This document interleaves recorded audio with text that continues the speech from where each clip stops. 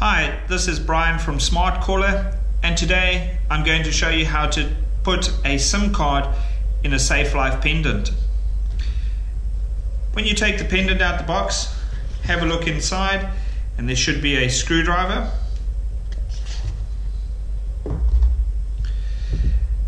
On the back of the device are three screws and we'll undo those three screws.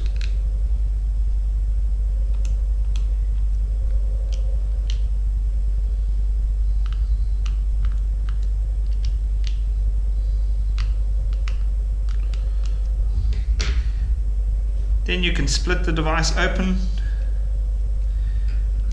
and be careful you don't lose the screws. So in the device we have the battery and we have the compartment where the SIM card lives. If you put your thumb on there and just slide it back a little bit, it'll pop and then you can pull it with your nail and it'll open up. Take note that in the corner over here is the cutout where you would put the SIM card.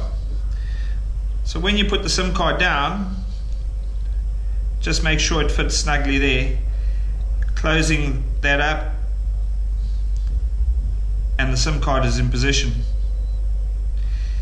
Then close the device up using the hinge on the back but also make sure that the plug for the battery is also in position and firmly in. Close the device up, put the three screws back,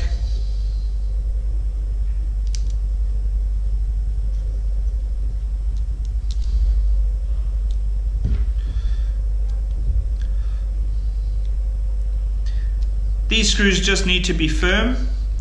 Be careful not to over tighten as you'll strip the hole.